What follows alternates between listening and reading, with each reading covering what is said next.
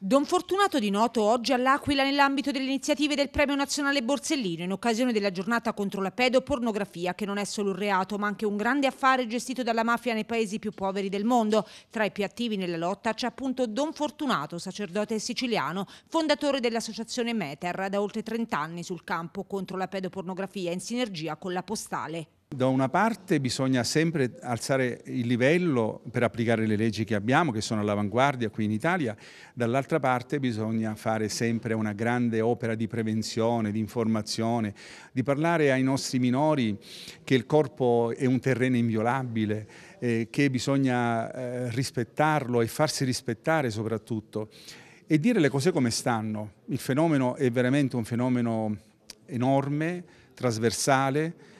molto impegnativo, eh, soprattutto basti pensare del report meter che noi ogni anno produciamo, ma sono i dati ufficiali che vengono confermati dalla Polizia Postale Italiana, ma anche dalle altre polizie estere che noi abbiamo una collaborazione, ci dimostrano come il fenomeno è veramente esteso, quasi inquantificabile per quanto riguarda eh, la produzione di materiale pedopornografico, quindi foto, video, e poi anche perché eh, internet favorisce la possibilità attraverso attraverso i social che vengono magari utilizzati senza criterio e senza sicurezza, la fonte primaria dell'adescamento dei nostri bambini. L'età si abbassa sempre di più, non soltanto per l'adescamento, ma soprattutto, ahimè, per la produzione del materiale. Non a caso ormai il fenomeno della cosiddetta infantofilia, cioè bambini neonati che vengono violati nella loro intimità, eh, coinvolgono anche le cosiddette pedomame e quindi anche le donne, ahimè, eh, in questi ultimi dieci anni stanno aumentando sempre di più che compiono abusi. Ovviamente